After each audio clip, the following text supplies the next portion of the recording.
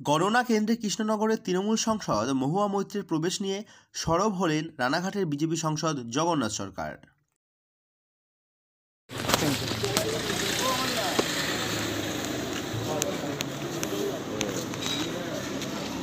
প্রশাসক যারা আছে, তাদের কোনো গাফিলতি বা পক্ষপাতিত্ব হচ্ছে বলে আমি অভিযোগ করছি।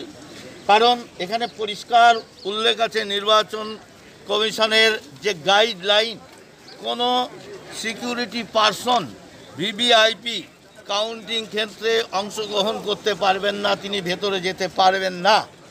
অথচ আমরা শুনছি মহামত্র সাংসদ, তিনি ভেতরে প্রবেশ করেছেন। কীভাবে করলেন, এটা একটা বড় পক্ষপাতিত্ব বলে মনে হচ্ছে। অর্থাৎ কাউন্টিংকে তিনি প্রভাবিত করবেন এবং যারা এখানকার দায়িত্ব আছে, তারা সঠিক দায়িত্ব পালন করছেন না।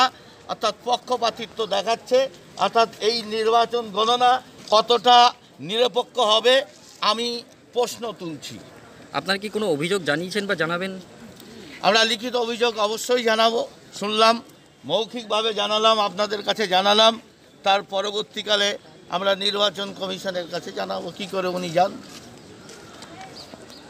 নদিয়া থেকে জগন্নাথ মণ্ডলের সঙ্গে রিন্টু মৈশানের রিপোর্ট স্টার নিউজ বাংলা।